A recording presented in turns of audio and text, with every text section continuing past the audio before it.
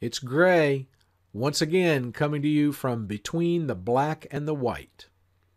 Hey, let's do something just for fun today. Let's have a ghost story. Now, it's not a scary ghost story. This is the legend of the Gray Man. And the Gray Man is a ghost who appears at Pawleys Island, South Carolina, uh, in advance of hurricanes or other big storms.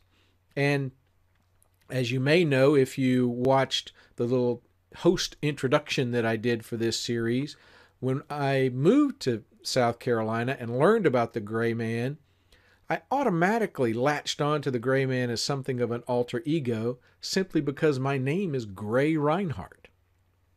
But you can learn about the Gray Man uh, from sources like Ghosts of the Carolinas by Nancy Roberts, a nice little book.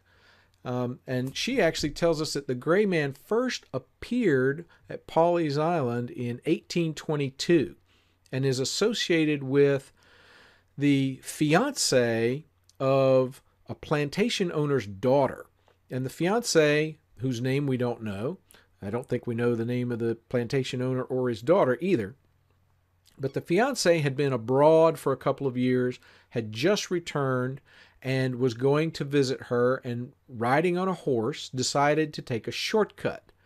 And the shortcut turned out not to be what he expected because he rode his horse into a bog, into basically quicksand, and they both ended up dying. And she was inconsolable at this. And for a time would wander on the beach and at one point she's walking along the beach and a figure in gray uh, is walking toward her and disappears. Later, she had a dream in which she was floating in the ocean amid a bunch of debris.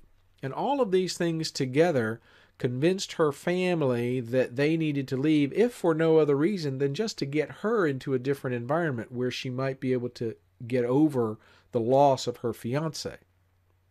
So they left Pawleys Island. And shortly thereafter, a hurricane hit. And the hurricane destroyed almost everything and killed a lot of people. And so the idea that there was this spirit, this gray man who would appear before storms, and if you saw him, you would take that as a warning, um, began to grow. Miss Roberts tells us that the gray man appeared also in 1893 uh, before a tidal wave, and then in 1954 before Hurricane Hazel. And I understand that there are other reports that uh, the gray man also appeared before Hurricane Hugo. And in each case, people who saw the gray man either were saved themselves if they stayed in the area, or if they left, their property generally was unscathed, uh, whereas homes on either side could end up being destroyed. I particularly liked that notion um, that the gray man is someone who issues a warning, and if you heed the warning, then things work out well for you. And so it was natural for me to uh, use the gray man, as I said, as something of an alter ego. You can find the gray man written about in other books.